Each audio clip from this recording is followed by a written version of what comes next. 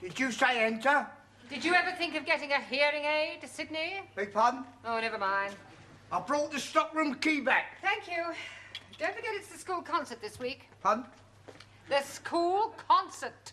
Oh, I'll get the hall ready. Good. I wonder what Mr. Brown's class is going to do. Has he mentioned anything to you? Oh, not a dicky bird. No, no. As a matter of fact, I don't think any of them want to do anything. Well, that's nonsense. Every class is expected to put on some sort of show. Better tell Mr. Brown to come and see me at tea break. Pardon? Tea break. Oh, is it? Oh, I can do with a supper. See you later. Right, now, uh, pay attention, everyone. Uh, as you may recall, when last we met, I gave you each, for your homework, a different task to do over the weekend. Hope you've all done them, yes? Good. Well, I want you each in turn to stand up and give me a report on your various activities, all right? Now, who'd like to begin? And we'll start at the back, shall we, with you, Jamila. Now, your homework was a visit to the cinema. Huh. Would you like to tell us about the film you saw? It was be about most beautiful top class Indian girl who is fell in love with boy from bottom class. Lower class. Huh. But girl's father is say no we get married. So they run away. But father is catch them and chop off boy's leggies. Later, father is be die. One day, girl is see beggar man in street. Oh, it is her sweetheart. Ah, she cry. No leggies, no matter. You be marry me. Okay, he say. I be go and be make myself look nice. What, with no leggies? Huh? So he go. Wait, she cry and run after him. And then, blam, big motor car hit her and kill her. It was most miserable film. And I'm enjoy it very much. Good, well done, Jamila. Very good. Taro, Also, your homework was a visit to London Zoo. Tell us about it. arrive at London Zoo. No, no, Taro. No, uh, London Zoo. Start again. Arrive at London Zoo. London Zoo. There are no O's. Oh, yes, please. There are two O's in London and two O's in zoo. Yes, absolutely correct, Ali, but I'm referring to the ends of the words, all right? Now carry on, Taro, but do try and get out of the habit of ending every other word in O. I try. Good. Went first to see Buffalo. Buffalo. Like a big bull. a buffalo. Carol confused. Yeah, words that uh, end in O, like buffalo or radio or vertigo, you pronounce the O, but where there is no O, you don't add one, understand? Yes. sir. I give up. All right, Taro, thank you. Right, now, Ali, Yes, please. I asked you to read one of Shakespeare's plays. Were you able to do that? Most definitely. I'm reading about Sherlock. You mean Shylock? Yes, please. The Merchant of Venice. Ah, good. Carry on. First of all, there is a lady porter. Now, her name was Portia. Yes, please. Now, a man called Bassanio is fancying this lady porter, uh, Portia, but he is broken. Broken what? Stony broken and no money. Oh, you mean broke. Yes, carry on. So he is going to see his friend Antonio and saying, Oh, please be lending me 3,000 buckets. Ducats. Sorry, please. But Antonio was also broken, so he is going to Shylock, the money lending man, and asking him to lend him the money. Shylock is agreeing, but on one condition. If in three months' time he is not paying him back the money, then Shylock could cut off a pound of Antonio's fleshy. Why is he wanting a pound of human flesh? Maybe he's one of them cannonballs. Cannibals. Oh no, He's doing this because he's not liking Antonio. Anyway, Antonio is in a bigger trouble. He wrecked all his chips. Ships. ships and is not being able to pay back the money. Now Shylock is wanting his pound of flesh. But Lady Portia is pretending to be a lawyer man. And she's saying agreement was for one pound of flesh and no drop is of blood. Shylock has had it. How can he have had it when he is not getting it? You damn fool. You are not understanding the Queen's English. I know the Queen is English. You think I'm stupid? Most definitely. Ranjit, sit down. Thank you. Right. Thank you, Ali. Very well done. Right. Now, Sue Lee, your task was a visit to Petticoat Lane. Petticoat Lane, very disappointing. Why was that? Not see one petticoat. Petticoat Lane is just the name of the place. Look, don't you find marketplaces interesting? Marketplaces full of capitalistic traders selling inferior merchandise to ignorant working classes at inflated prices. Chairman Mao, he always Never said- mind what Chairman Mao says. Thank you, Sue Lee. Well done. Right, Ranjit, your task was a visit to Highgate Cemetery. And I am finding it very interesting. Good. Well, tell us all about it. Firstly, I'm seeing the burying place of Karl Marx. Ah, yes, the father of communism. But I'm not understanding which one he was. I'm sorry, I don't understand. Was he Chico, Harpo, or Groucho? Karl Marx was not one of the Marx brothers. Thousand apologies. What else did you see? I'm seeing many beautiful gravestones. Gravestones. That is correct. And some of them have written on them beautiful words. I'm writing one down. You are gone, my dearest wife. Still, I feel no pain. For I know at heaven's gate we will meet again. What's the matter, Giovanni? I can't help it, Professor. He is so sad. That poor husband, he must have loved his wife very much. Please don't be upsetting yourself. The husband is being very happy. How do you know? He's dying the year after. Oh, thank goodness! I'm so happy for him. And they are both being football fans. Oh, how on earth do you know that? He's having put on his stone, united forever. Ranjit refers to him being reunited with his wife in heaven. Thousand other thousand apologies. Yes, well, thank you. Well done. Good. Right, uh, Giovanni, have you recovered sufficiently to uh, tell us about your visit to Speaker's Corner? Okie dokie. First, I take the tube to Hyde Park. Then, for an hour, nothing. Well, what do you mean, nothing? Nobody was there.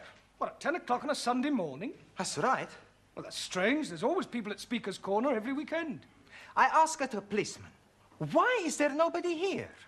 And I find out why there is nobody there. Well, why was there nobody there?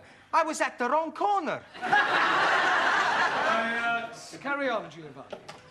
Excuse me, Mr. Brown. Oh, yes, Miss Huntley. What have you done about the concert? Pardon? Is everybody in this school going deaf? I want to know what you have done about the school concert. Concert? There has been a notice on the board for the past two weeks. You haven't read it. Um, well, I... Mr. Brown has read it. He was discussing it with us before you came in. Again, again. Yes, yes, I, I was. Good. Then what are you going to do? Well, I expect we'll all be there. I should jolly well hope you will all be there. But what I want to know is what your students' contribution will be. Contribution? Yes, what little party piece are they going to perform? Party piece? Well, uh, Eh, pardon, signora. It's going to be a surprise. yeah, yes, it's, it's going to be a surprise. Well, I don't like surprises. I want to be quite sure that what they're going to do will be acceptable. So I suggest that uh, after tea break, you and your class can give me a preview of their intended performance. Hey, we help you out pretty good, huh? Yes, but not for very long. Por favor. We still have to think of something to do for this concert in less than half an hour. That's all right. With your brain and our talent, no problem.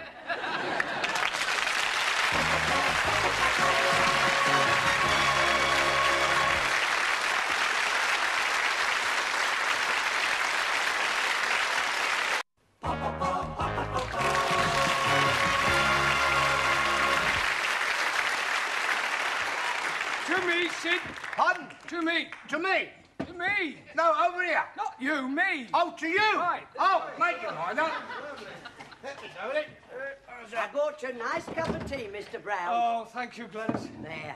Thank you. Here, what are they all going to do for the concert tonight? I shudder to think they're outside practicing now. Oh, would you like me to do a bit? A bit of what? Well, singing. I was in the choir. Hmm? Oh. Jerusalem, Jerusalem, lift up your voice and sing. Turn it up, Gladys, you curdle the milk. Oh, don't you be so cheeky. You like my voice, Mr. Brown? I think it's remarkable. Thank you. I can do your turn if you like. What, you, Sid? Yeah, you, what's this? In the old iron, in the old iron, in, in, in the old iron. He all looks sweet, talk about the street. You all look dapper, feeling up to your feet. Dressed in style, brand new tile. Father's old green tile. Wouldn't give you tuppence if you don't want to say old iron, old iron. Here, but up, up, up, give it out. up, up. How's that?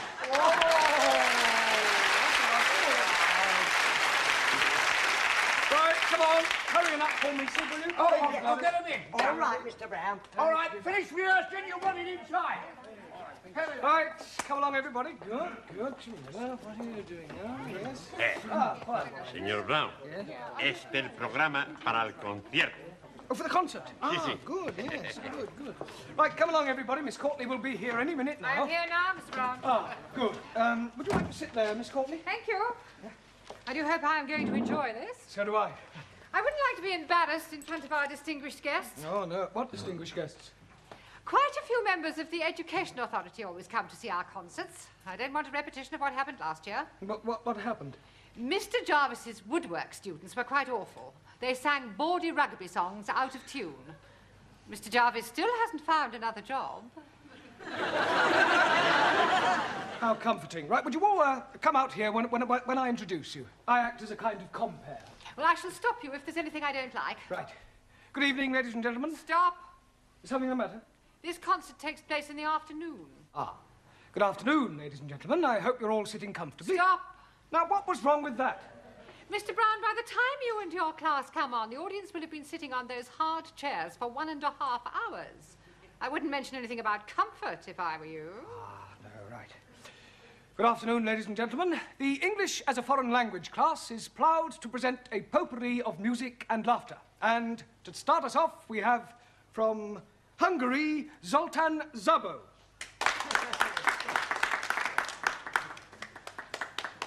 Good evening, everybody. Good afternoon. Ah, good afternoon. Hungarian magic. Hungarian paper.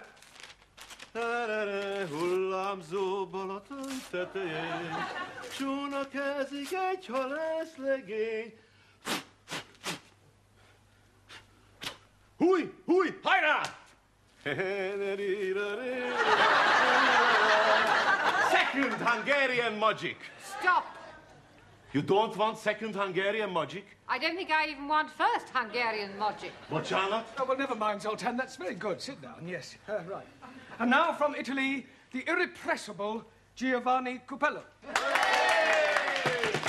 Grazie, grazie. For you, I'm gonna do some impersonations. Okie dokie, here we go. Hey, you want a nice piece of salami? I got a lovely piece for you. And who is that supposed to be? That's my butcher, Antonio. We have never heard of your butcher. Maybe not, but if you add, it's uh, very much like him. Can't you do any impressions of any well-known people? Sure I can. Jimmy Cagney. In a scene from the film Disaster on the Fifth Avenue.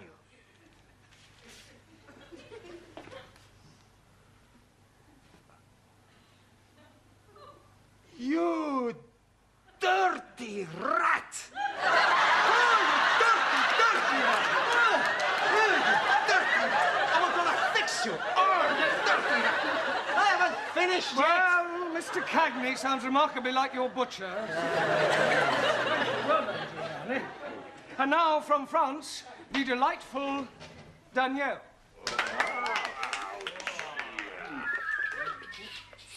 Thank, you. La la la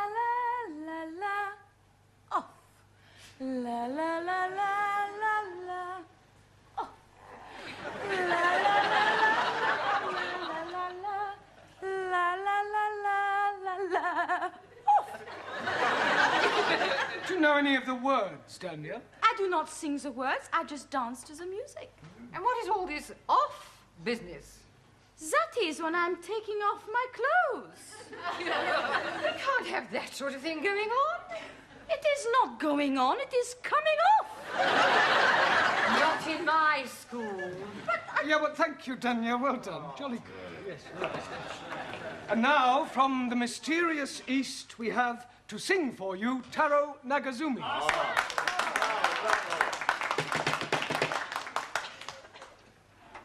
I sing for you a traditional Japanese song called A Warrior's Lamento.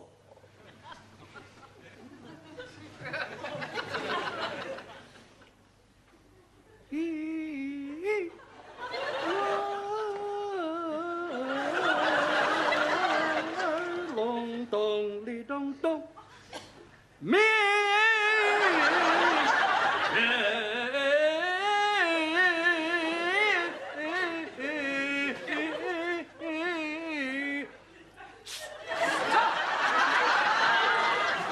Why you tell me? Because it was awful. Oh, I thought it had a certain style. Yes, sickening. Sorry. You not like who? My son. Ah. And now, from Germany, will you welcome with her animal impressions, Anna Schmidt? Danke. I would like you to come with me on a walk in the Black Forest.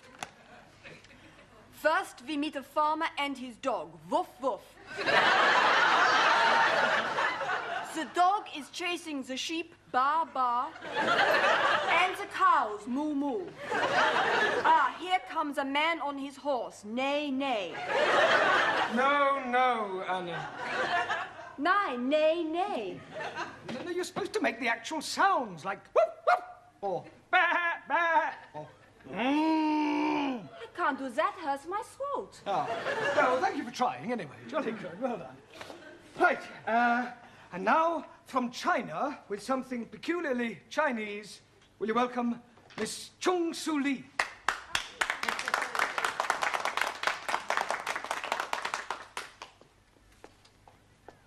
Chairman Mao, he say. In the conditions prevailing in China today, the contradictions among the people comprise the contradictions among the working classes, the contradiction among the peasantry, the contradiction among... This is supposed to be a school concert, not a party political broadcast. Can't you sing or anything? I can sing Song of Revolution. Oh, no. right, and now it's time for a little comedy from Ali Nadim and Ranjit Singh.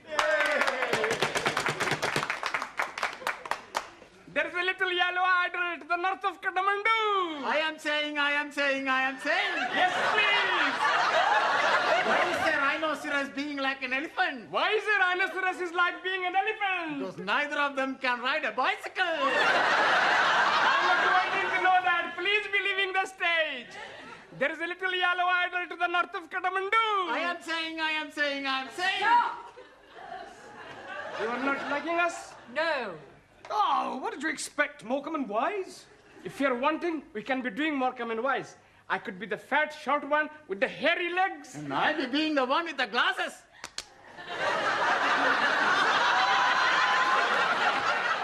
Yes, well, we'll discuss it later. Thank you. Very, very good, very good.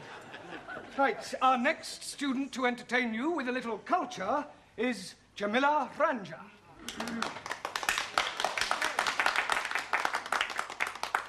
Go, Ladies and gentlemen, I am tell you beautiful English poetries by Thomas Gray. Elijah, written in country churchyard. Elegy. Sorry, Masterji. The curfew tolls the knell of parting day, ting day. The lowing herd winds slowly o'er the lea. The ploughman homeward plods his weary way and leaves the world to darkness and to me.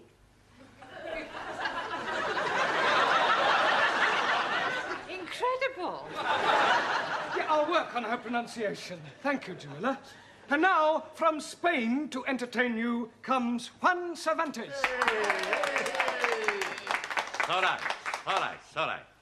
Uh, Mr. Brown, he tell you I am from Spain. That surprise you, eh? When I speak, I have no accent at all. In Spain, one times, I was going to be the bullfighter. So, one Sunday afternoon, I go to the bullfight, and they put me in the bull ring. The bull comes out. I look at the bull, and the bull, he look at me. The bull, he look at me, and I look at the bull. And you know one thing? the bull was better looking than me. hey, why you no laugh? Right. So I not become the bullfighter because I don't kill pretty bulls. Good, huh? Now, you never saw me dance flamenco. I do it very good. Oh, la.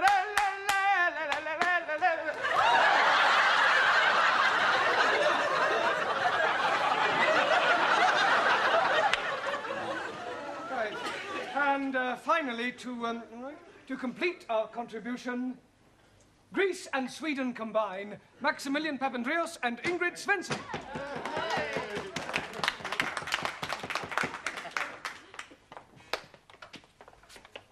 Okay. And now my beautiful assistant and I are going to do some uh, jiggling. Juggling. Okay. You ready, huh? Hi, ready, ham. Okay. Whee!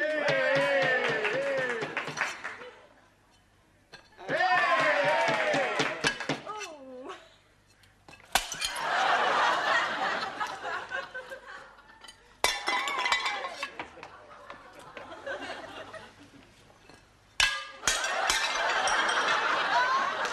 Ah, all we need is a little practice.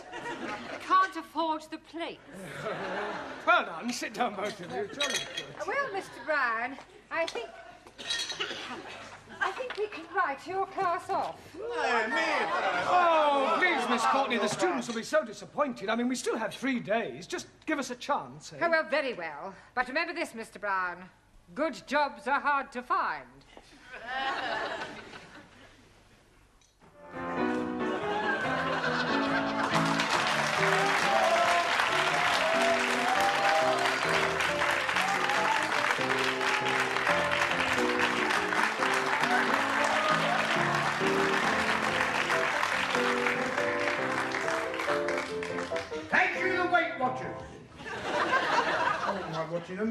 now, ladies and gentlemen, for your entertainment, here is Jeremy Brown and his United Nations.